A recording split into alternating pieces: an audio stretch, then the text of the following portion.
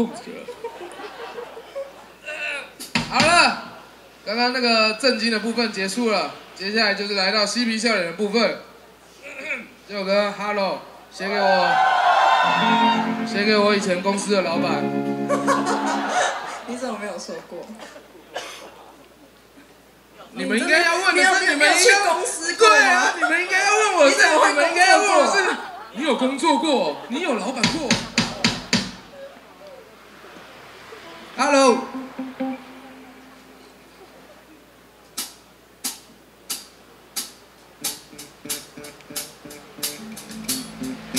反正那些大人物嘛，老板嘛，讲什么都是对的，我们也只能听啊。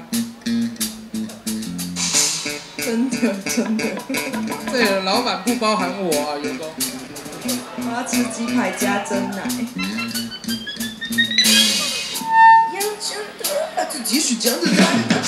我就是老板，我就是你的上帝。无法一时间保持我的欲望表情。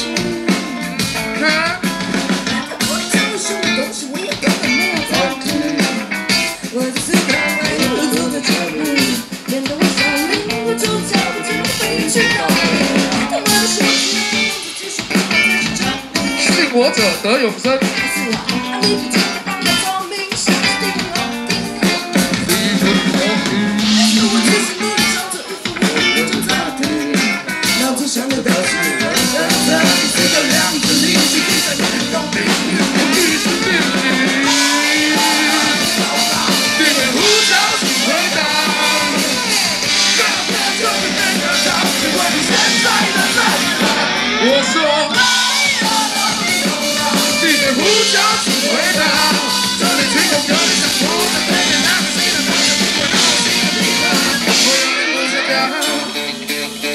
所以我说哈，我们这个格局一定要放大。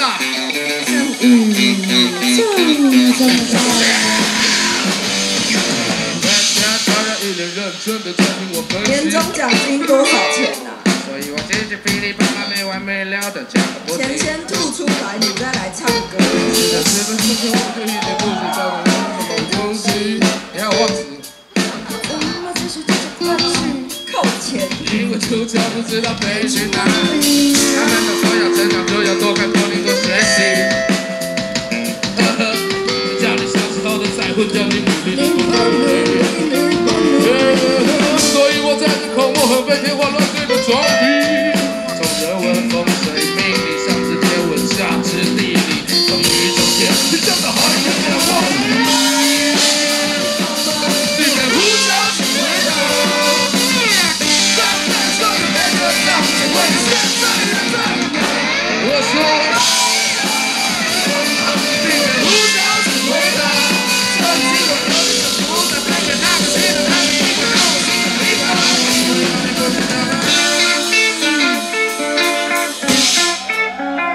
专业这就是的们的专业。